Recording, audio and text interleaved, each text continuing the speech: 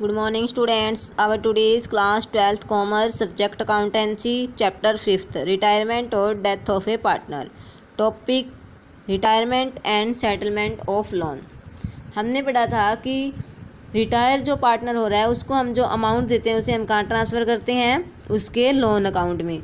तो loan account में जब हम ट्रांसफ़र करते हैं तो कई बार क्या होता है कि जो रिमेनिंग पार्टनर्स है, वो ये जो पार्टनर रिटायर हो रहा है, उसके साथ ये समझौता कर लेते हैं कि हम आपको लोन की जो अमाउंट है, वो इक्वल इंस्टॉलमेंट्स में पे कर देंगे। यानी कि एक निर्धारित राशि कर दी जाती है कि हम किस्तों में आपको वो निर्धारित राशि दे देंगे। ऐसा जब केस होता है, जब हमें इंस्टॉलमेंट में जो अमाउंट है, वो पे करनी है तो हम क्या करते हैं, हमें अलग से जो पार्टनर रिटायर हो रहा है, उसके लिए लोन अकाउंट तैयार करते हैं, ठीक है?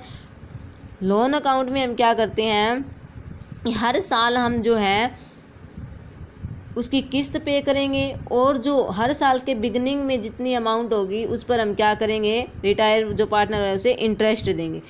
तो लोन अकाउंट में हम जो इंटरेस्ट है, उसे क्या करेंगे? क्रेडिट क्रेडिट करेंगे हम, ठीक है? और डेबिट किसे करेंगे? जो अमाउंट हम पे कर रहे हैं। पे कौन सी करेंगे? इंस्टॉलमेंट की अमाउंट प्लस इंटरेस्ट की अमाउंट इसे हम क्या करेंगे? डेबिट करेंगे। हम लोन अकाउंट जो है वो तैयार कर लेते हैं सम के माध्यम से कि हमें किस प्रकार से लोन अकाउंट प्रिपेयर करना है। हमें बैलेंस शीट दी गई है, मोहित और केशव टू पार्टनर हैं प्रॉफिट्स क्या है उनका इक्वली वो शेयर कर रहे हैं। अब क्या है, केशव रिटायर हो रहे हैं। गुडविल हमें दी गई है जनरल रिज़र्व जो है हमें इसमें से जनरल रिज़र्व जो हम ट्रांसफ़र करेंगे इनके कैप अकाउंट्स में, वहाँ से हमें ट्वेंटी परसेंट जो है प्रोविज़न फॉर डाउटफुल टेस्ट के लिए रखना है। There was a piece of furniture valued at two thousand sixty which was unrecorded in the books of the firm unrecorded assets हैं, ठीक है? इसी प्रकार से Mohit decided to pay Keshav by giving his piece of furniture जितना भी जो amount है उसे पे करनी है, उसमें क्या कह रहा है? मोहित कह रहा है कि मैं एक तो केशव को बोल रहा है कि एक तो मैं फर्नीचर दे दूँगा। फर्नीचर कौन सा? दो हज़ार साठ वाला, ठीक है? इसी प्रकार से जो अमाउंट बचेगी, उसे वो किस प्रकार पे करने के लिए बोल रहा है कि मैं आठ हज़ार रुपये हर साल तुझे, हर बार क्या करूँगा? इंस्टॉलमेंट में दूँगा।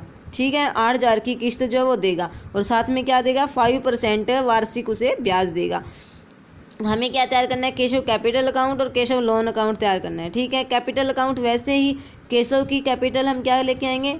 Balance down carry down brought down यानी कि नीचे लेकर के आएँगे किस साइड क्रेडिट साइड क्योंकि हमारा जो कैपिटल अकाउंट का बैलेंस है वो क्रेडिट होता है।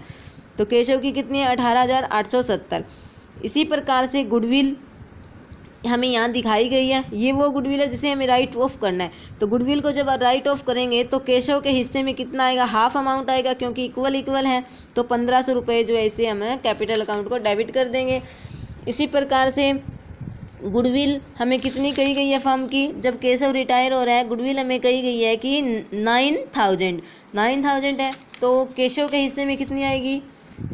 हाफ़ अमाउंट क्योंकि इक्वल है प्रॉफिट शेयरिंग रेशियो तो हाफ़ अमाउंट जो है वो गेनिंग रेशियो में किसे, कौन गेन कर रहा है? मोहित कर रहा है। तो मोहित का जो कैपिटल अकाउंट है, उससे हम जो अमाउंट है, केशव के हिस्से की वो ट्रांसफ़र करेंगे। उसके कैपिटल अकाउंट में कितनी? पैंतालीस सौ।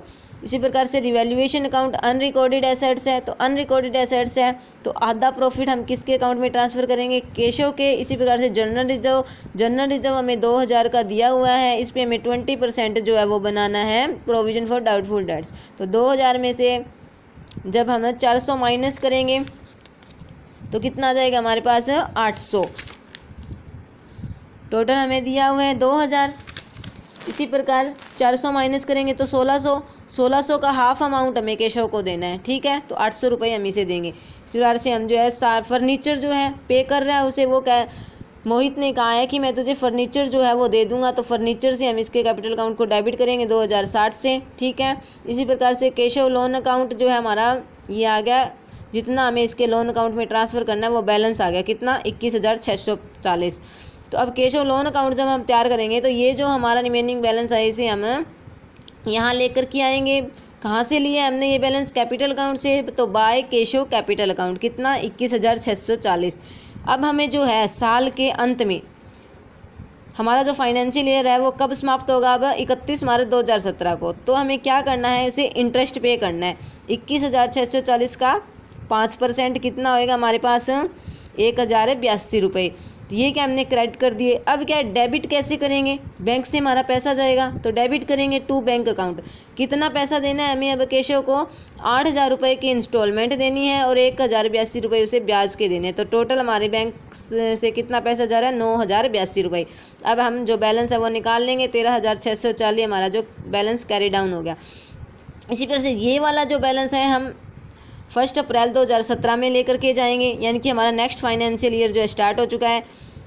बैलेंस हमने यहाँ पे ब्रोड डाउन कर लिया, तेरह हज़ार छः सौ चालीस। इसी प्रकार इंटरेस्ट जो हमें इस साल का पे करना है। अब ये जो इंटरेस्ट है, इस अमाउंट पे पे करेंगे हम। ठीक है, जो रिमेनिंग अमाउंट है, तेरह हज़ार छः सौ चालीस पे फाइव परसेंट अब क्या है, साल के अंत में फाइनेंशियल ईयर के लास्ट में हम क्या है, उसे पे करेंगे। इंस्टॉलमेंट पे करेंगे और इंटरेस्ट पे करेंगे। आठ हज़ार की इंस्टॉलमेंट प्लस छः सौ बयासी का ये जो इंटरेस्ट, जो बिगनिंग अमाउंट पे हमने कैलकुलेट किया इतनी अमाउंट अब उसे हमें पे करनी है। ये आ जाएगा हमारा, इस साइड से जब हम इसे लेस करेंगे तो हमारा पाँच हज़ार छः सौ चालीस रुपये बैलेंस आएगा इस बैलेंस को फिर हम नेक्स्ट ईयर लेकर आएँगे, दो हज़ार अट्ठारह में। कितना? पाँच हज़ार छः सौ चालीस, इसी प्रकार से इंटरेस्ट पे करेंगे इस पर पाँच हज़ार छः सौ चालीस पे फाइव परसेंट अब क्या है? इंस्टॉलमेंट जो है हमारी पूरी हो जाएगी। क्योंकि आठ हज़ार रुपये की हमें उसे इंस्टॉलमेंट देनी होती है। लेकिन उसका बैलेंस कितना है? ओनली पाँच हज़ार छः सौ चालीस रुपये ये और इसका इंटरेस्ट पाँच हज़ार नौ सौ बाईस रुपये है। तो अब क्या है, हम सीधा ही बैंक से ट्रांसफ़र कर देंगे पाँच हज़ार नौ सौ बाईस रुपये अब कोई बैलेंस नहीं है, उसका सारा जो लोन है वो हमने चुका दिया है। इस प्रकार हमें कैप लोन अकाउंट जो है तैयार करना है। अगर हमें सब में कहा जाए कि जर्नल एंट्रीज तैयार करने हैं रिवेल्यूशन अकाउंट तैयार करना है बैलेंस शीट तैयार करनी है तो सारी चीज़ें तैयार करनी है हमें और कैपिटल अकाउंट, जो हमारी लास्ट में बैलेंस शीट बनेगी, वहाँ लोन अकाउंट को हम दिखाएँगे। और फिर जो पार्टनर रिटायर हो रहा है, उसके लिए हम अलग से उसका पूरा लोन अकाउंट बनाएँगे कि हमने उसे कब कब कितना कितना पे किया है। तो इसी प्रकार आपको लोन अकाउंट तैयार करना है। थैंक्स